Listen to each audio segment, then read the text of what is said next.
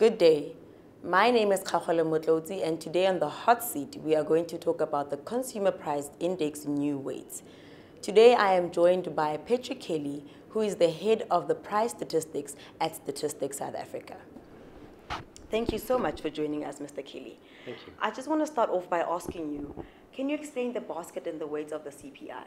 Certainly. Well, the basket is a list of products and services that people in South Africa buy commonly. Mm-hmm.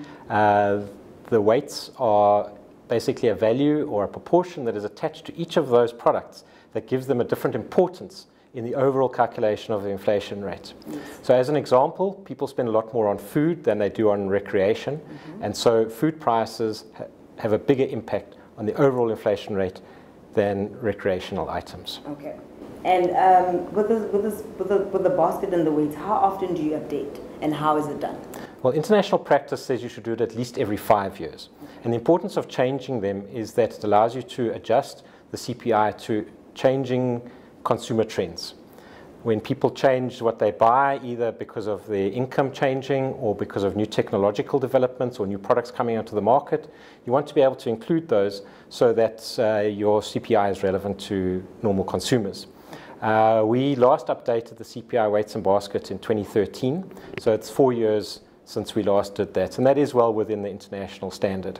And uh, in regards to the basket, how how are the products? How do products enter, and how do they fall off? The CPI basket is based on the products that households have spent the most money on in total over a 12-month period. Okay. Now, Stats SA runs what's known as an income and expenditure survey that over a 12-month period asks households across the country to record in detail what products and services they have spent money on. Okay.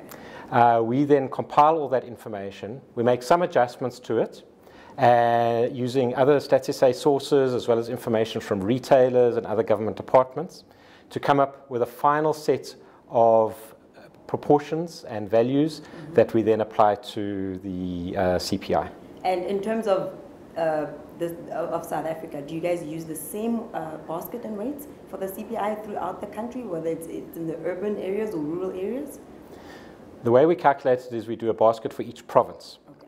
And so what's important is that uh, different provinces have different uh, mixes of urban and rural. Different provinces are richer than others. Mm-hmm. And this is very important in building up the national profile. So, for example, the Gauteng represents about a third of the total expenditure of the country. The Western Cape is now approximately 17% of total expenditure. And the province with the third biggest expenditure is KwaZulu-Natal with approximately 12%. And which products have the biggest weight and what is the importance of changing these weights? The product group with the biggest weight is housing. Uh, housing consists of both the costs of living and owning your own house, as well as renting, as well as the utilities that, such as electricity and water, that you have to pay for. Uh, across the country, housing is the biggest expenditure item. Uh, the next biggest expenditure item is food, uh, which in total represents about 17% of total expenditure, and that's what we have put into the CPI weights. Uh, other big uh, parts of the basket are transport, and in transport, we would have purchase of motor vehicles, fuel, public transport, and, as, and the next biggest group is what we call miscellaneous, which essentially is a lot of financial services. Okay. Uh, so items such as insurance, uh, but we also have in there uh, funerals yeah. Uh, and, and one or two other items that don't really fit in anywhere else. Some of the items that have come into the basket this year are ready mix flours such as muffin mix or pancake mix, frozen pastry products like frozen pizzas and pies, as well as instant noodles. I think this reflects a growing convenience lifestyle. Uh, we've also seen toys such as soccer balls and video games coming into the basket. And one of the very important items is levies for sectional title developments. Okay. So all the people who live in townhouse complexes or estates mm-hmm. and pay a levy, those for the first time we will be reflecting the price increases within the CPI. Okay.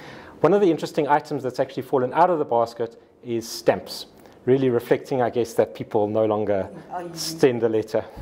Okay, all right. Thank you so much for joining us.